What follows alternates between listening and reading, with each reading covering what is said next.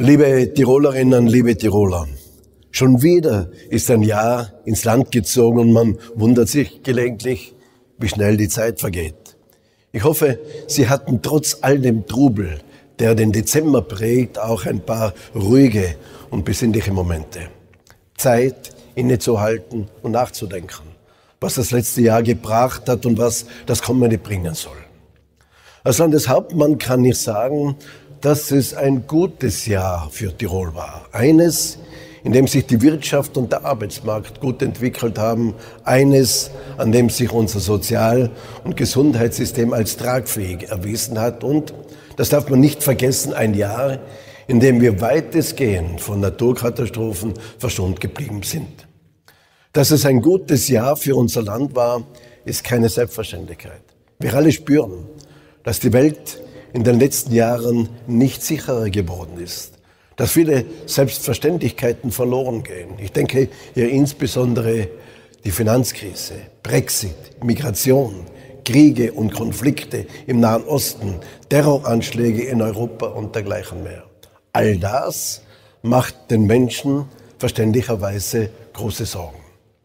In unserem politischen Handel geht es daher immer zuallererst um Sicherheit. Das ist es, wonach sich die Menschen besonders sehnen. Wir kümmern uns um Sicherheit im umfassenden Sinn, in der Bekämpfung von Kriminalität und der Bewältigung der Migration. Wir unternehmen aber auch große Anstrengungen, um Sicherheit im sozialen Bereich und der Gesundheitsversorgung zu gewährleisten. Sicherheit in einem umfassenden Sinn heißt natürlich nicht, dass wir Tirol zu einer Insel der Seligen machen können an der alle Stürme der Gegenwart vorbeiziehen.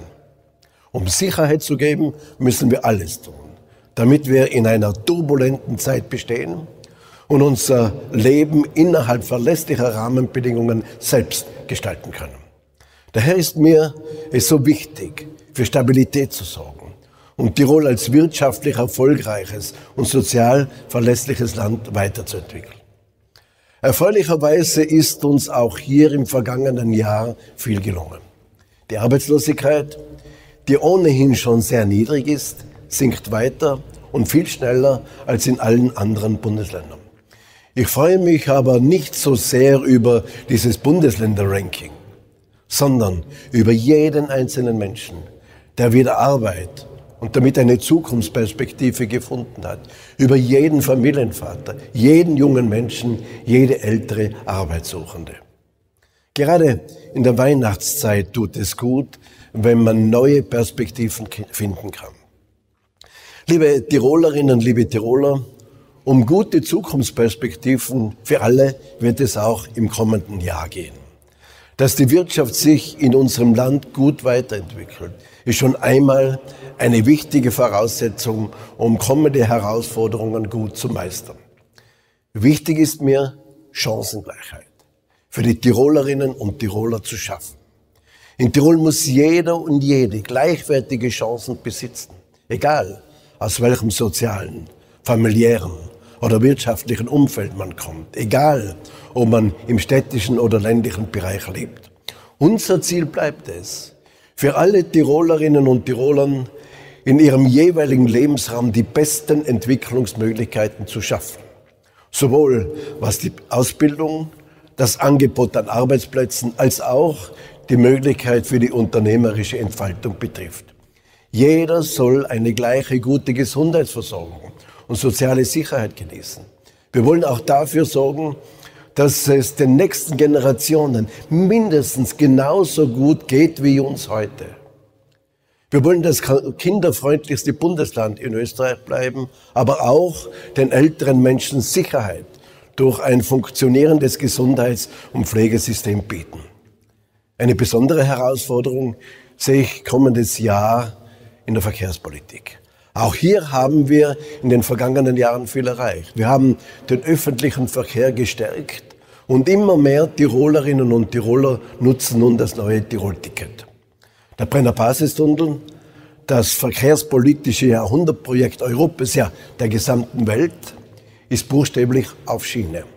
Und trotzdem ist die Verkehrs- und Transitbelastung noch immer zu groß.